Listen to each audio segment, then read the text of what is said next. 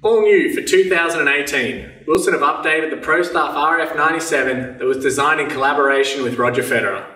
They have taken the original black tuxedo frame and highlighted the sides of the racket through striking contrast of a glossy white finish at 3 and 9 o'clock.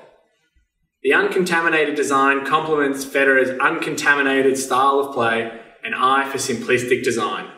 The racket continues to offer the same pure classic feel that players have come to love from the Pro Staff range from Wilson as a result of the braided graphite composition and ingenuity of the racket's physical design and specification.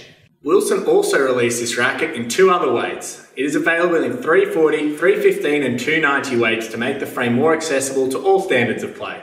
The lighter models take from the RF97 in design, feel and all-round playability. We found that this racket is rewarding for the strong player with extended stroke length.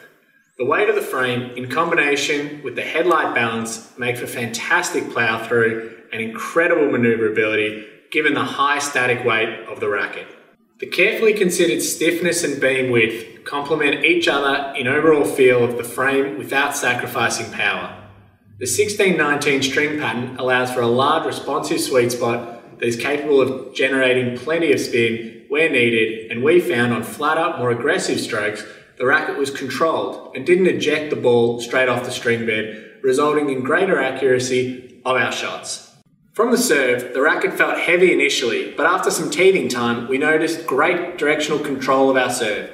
The weight of the racket really helped in generating extra kick and slice off serve, whilst on flat, powerful serves, we were forced to work a little harder. Given the heritage of the pro staff line and the players who have used the range in the past, it is not a surprise to us how crisp the racket performs at the net. Volleys were pinpoint and the racket ploughed through the incoming shot with attitude. The same could be said for the slice. The ball didn't jump off the string bed and we had a good response from our play testers. Meticulous in detail and bold in its beauty, the RF97 sets the standard for design and performance.